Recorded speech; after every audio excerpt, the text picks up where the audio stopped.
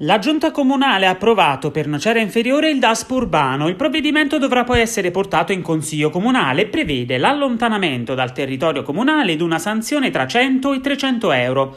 Nel caso di una violazione del divieto, nelle successive 48 ore si verrà multati per altri 200 euro e qualora dalla condotta tenuta possono derivare pericoli per la sicurezza, verrà esposta denuncia al questore.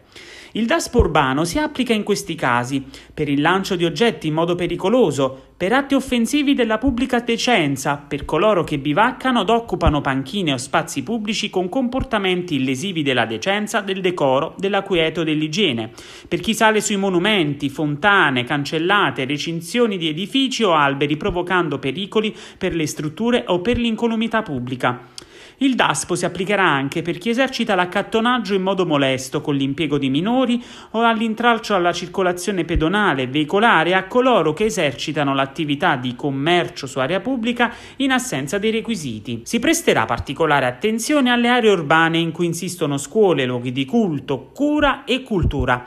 In particolare l'applicazione del DASPO urbano potrà avvenire presso la villa comunale, giardini e parchi pubblici, impianti sportivi minori, la sala polifunzionale, comunale l'intera area di Piazza del Corso, Piazza Diaz, Piazza Petrosini, Piazza Nassiria, Largo Sant'Antonio, Biblioteca Comunale, Cimitero, Centri di Quartiere, Area Mercatale e Teatro Diana. Attenzionate anche le aree comunali adibite a verde pubblico e l'ospedale Umberto I.